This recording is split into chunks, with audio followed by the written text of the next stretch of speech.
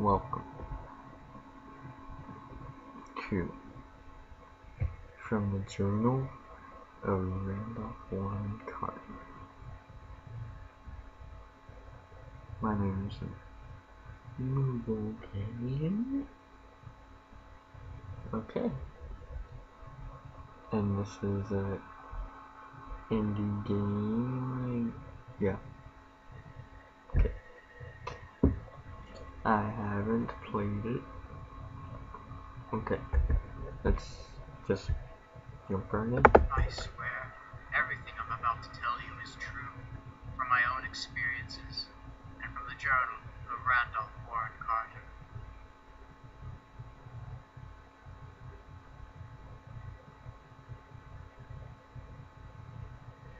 Okay. Okay, just saying that that right there somehow reminded me of someone from Star Trek even though I haven't seen it. Okay.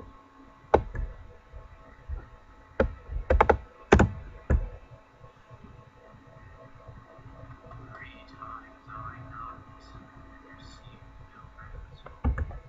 I stand in the empty ancient domain of northern stone, its frame cracked, worn from use and exposure. I waited there, waited for a response that would never come. Eventually I reached for the handle. The honest realization came to my mind. The door had sat upon a decrepit porch. From the dirt and leaves, yet it lacked a single footprint other than my own. Thus it appeared that no man had entered or left that house in some amount of weeks, perhaps even months. Then and there, I thought to leave at once. What did I owe to my elderly widow? Did this man whom I had never met? I wish I had left. Oh, what a glorious thing it would have been to simply drive off and remain ignorant to the ongoings of that accursed abode. Yes. Yet my uncle's letter remained fresh in my mind. Okay. To my dear grandnephew George, I realize we have never met, and that I have never truly been a part of your family. These monthly letters will be a nuisance. Right? Yeah, nuisance. Yet, I hope you aren't ignoring my simple plea. I do not have much time left in this world, and I am in dire need of an executor. Why do you need an executor? To take care of the many things which I will leave behind. Please travel to my home so that we may speak in person.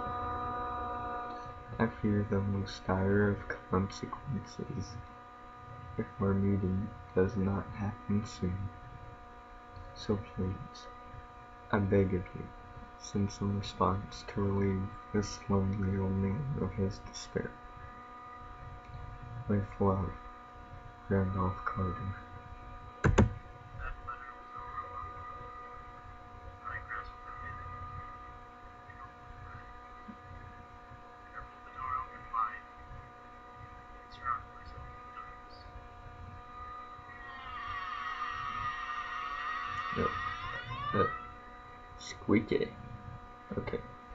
The Arrow keys to move, space to interact, F to turn on flashlight. And down. Okay.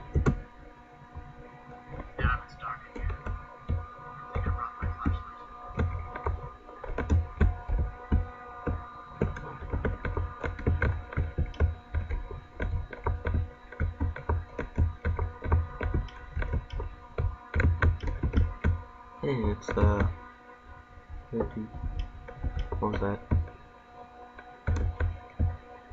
Just heard a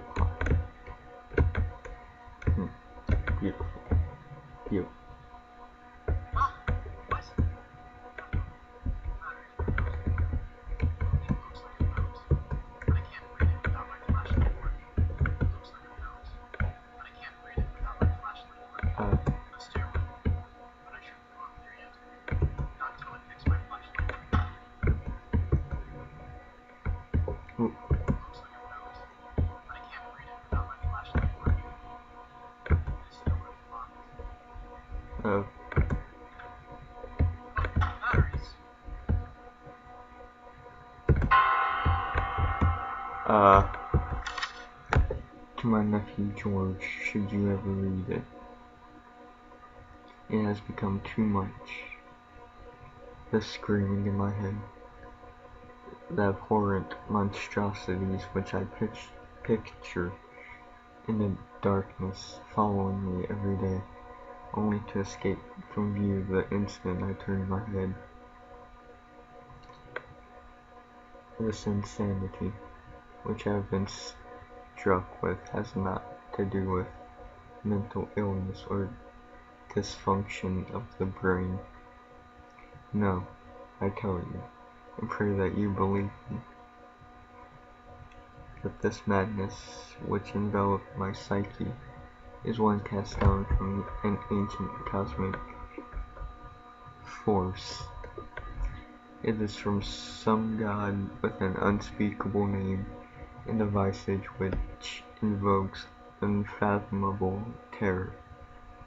That said, I must give you the following instructions before I am betrayed yet again by my mind. Okay. You must go upstairs to my study and find a peculiar book, the Necronomicon. The page of the proper incantation is marked, yet never speak it aloud, not unless the time is right.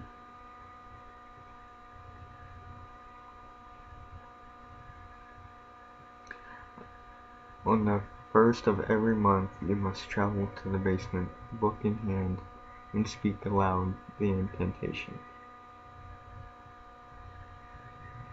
Do not venture into the attic. Please, I beg of you, to do these things, and perhaps your fate will not be the same as mine. What do you mean by that? For all this, I am sorry. Randolph Ward.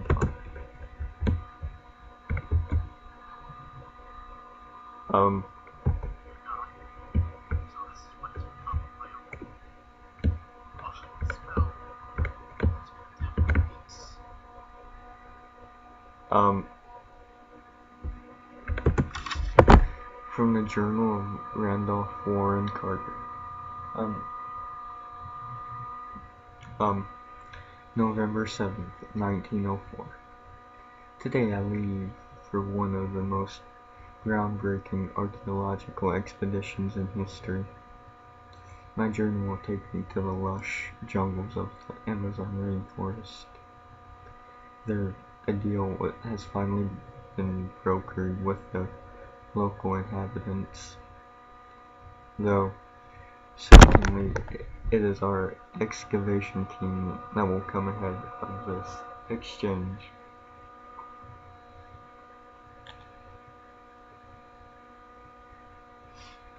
For we will be given the right to research, explore, and, in the manner of speaking, plunder one of the ancient temples.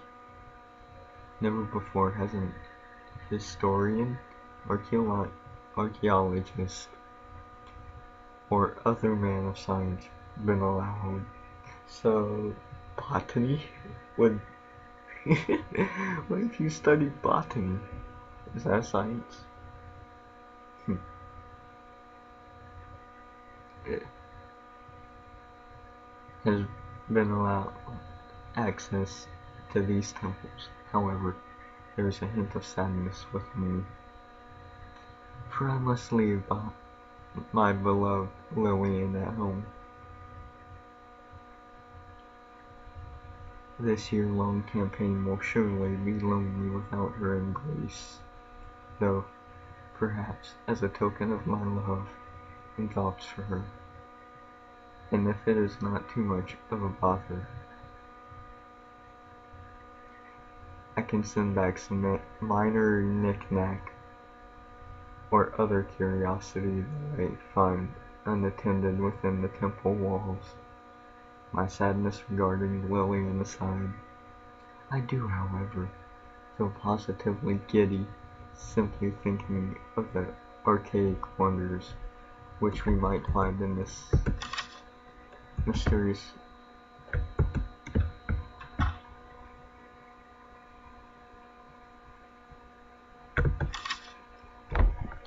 From the Journal of Randolph Warren Carter,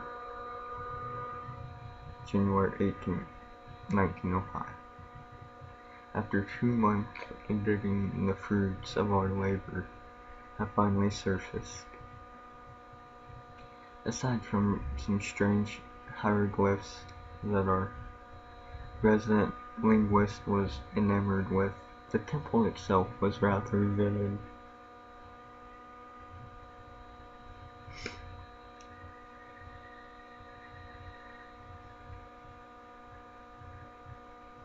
No, the temple itself was rather void of interest to the academics on our team. However, after some minor excavation around the outside and a few sticks of dynamite to remove an antiquated, antiquated stone wall, he opened a doorway into an underground crypt. Yeah, that's my way of entering something. Gathered around the open portal, we stared deeply into the black void before us. I found myself shaking, fearing the seemingly never-ending darkness that laid before me. And yet, thoughts of the knowledge we might gain amongst the many other treasures had entered my mind and calmed my spirits. With newly found resolve and torch in hand, I led the party inside the dungeon, hmm. illuminating the cracked stone walls, which had been untouched by light for some hundreds of years.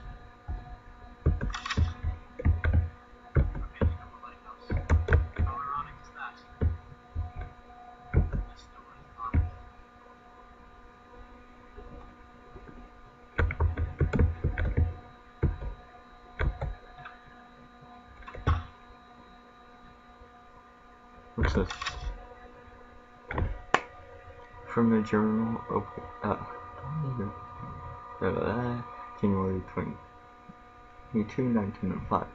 The cavernous crypt was much larger than any of us would have expected. The various hallways and corridors seemed to stretch endlessly through the darkness. Okay, look. You can pause it and get out of there.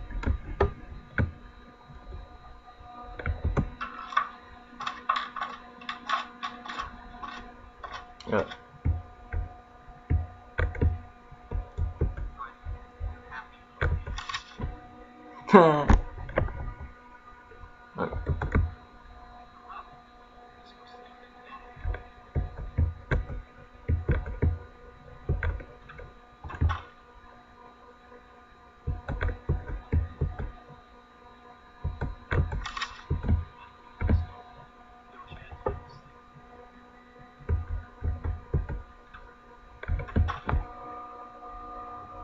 Okay, so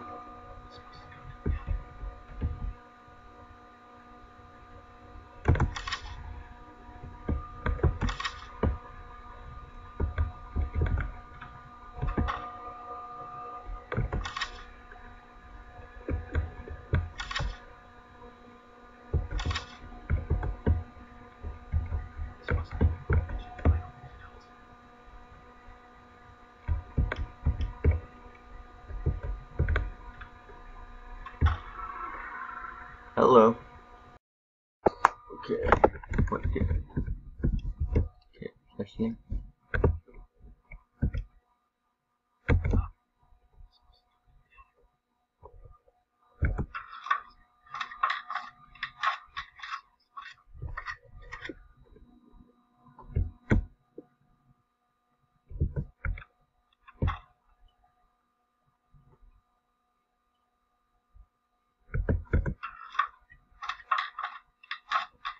Okay, that wasn't a.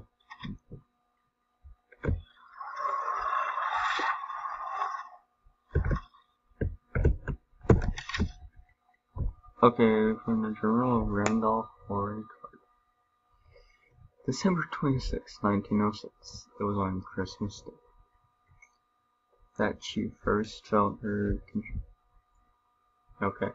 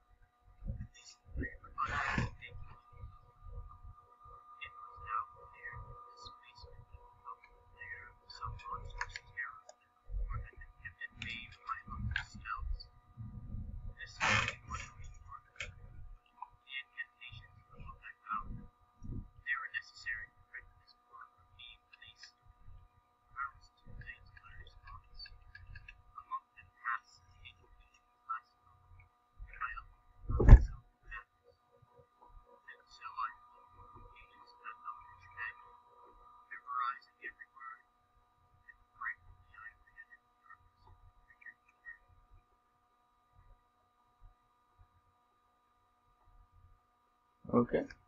Is, that it? Okay. I should probably took my time, but I actually like this story. So, the dude's relative killed himself because of something in the darkness driving him mad? Huh. Okay. Nice. Okay, that was a great story. Okay. Moogle game. It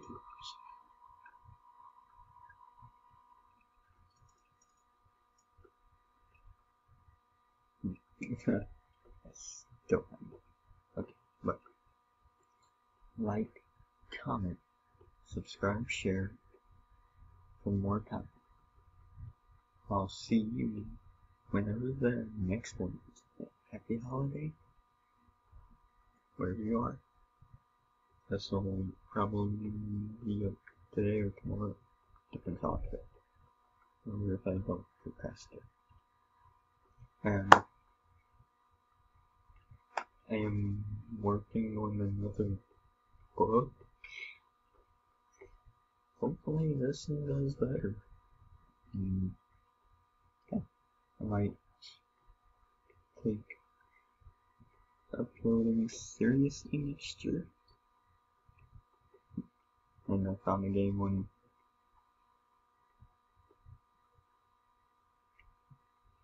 the site called